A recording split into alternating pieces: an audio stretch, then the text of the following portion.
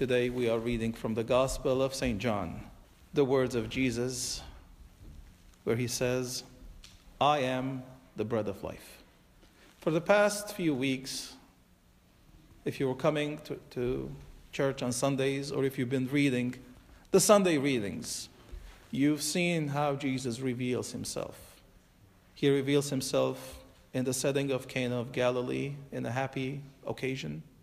He revealed himself last week in last Sunday's reading in a troubled occasion when the disciples were facing a storm.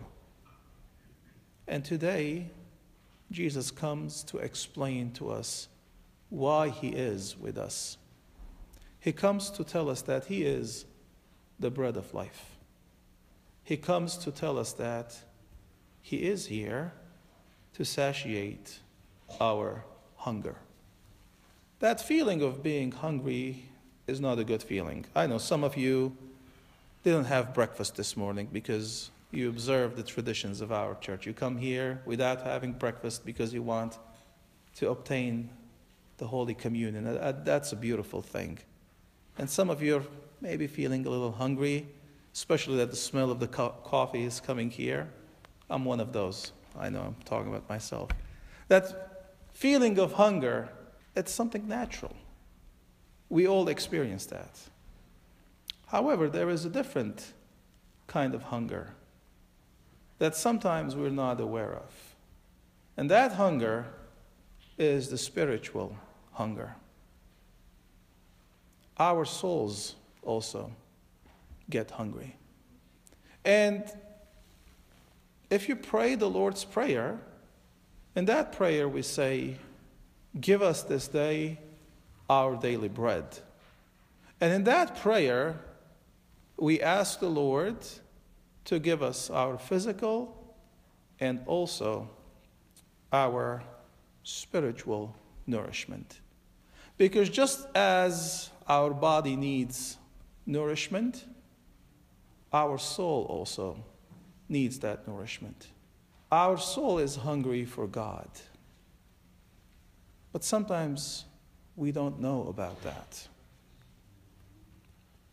If I stay away bit too long from church, bit too long from the Word of God, I personally feel that hunger. Some of you might be saying, That's you. I've never experienced that, that sort of hunger. I've never felt that I am hungry for God. But I can ask you the following question Has there ever been a period in your life where you experienced a sense of injustice? Something happened and you felt that this was not, there was no justice.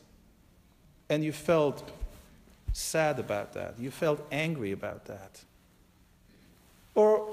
Maybe there was this period in your life where you were with a person. That person could be your parent, it could be your spouse, it could be your child, where your hope was to experience a perfect sense of love. But that sense of love was not experienced, and you felt frustrated. Those ideas of perfect love, of justice, these are ideas that come to us from God. We are created in the image and likeness of God.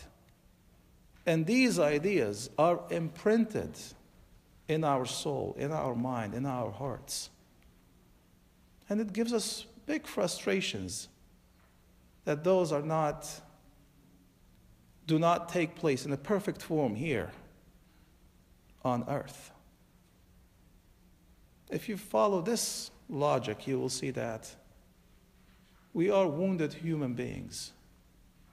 You see that we all long for God, but sometimes we don't know it. We try to satiate our hunger with other things. The church today is half full. Other people who could have been here chose to go elsewhere. Maybe they went to the mall to do some shopping. Maybe they went skiing. Those are all good things, you know. We, we, we need the, the leisure time. But to mistake that, that leisure time, the shopping, and all the other activities, will satiate our hunger, that will be a terrible mistake. Everything that we do in our life to fill that emptiness that we feel inside is a fix. It takes us from point A to point B. But we realize that we're feeling empty again. It's like when you're feeling thirsty, you wouldn't go to the sea to get some water because that salty water will not help you with your thirst. We need something else.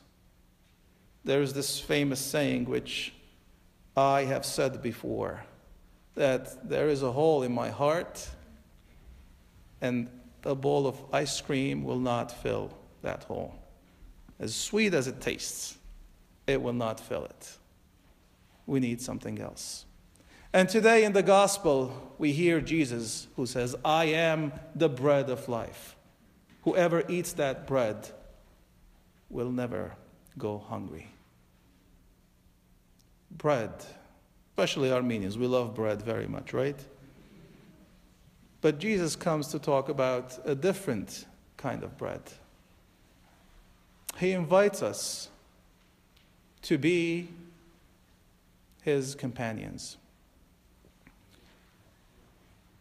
Sometimes I see young people who tell me about their experiences of meeting new people and trying to see if they can establish a relationship with, with that person.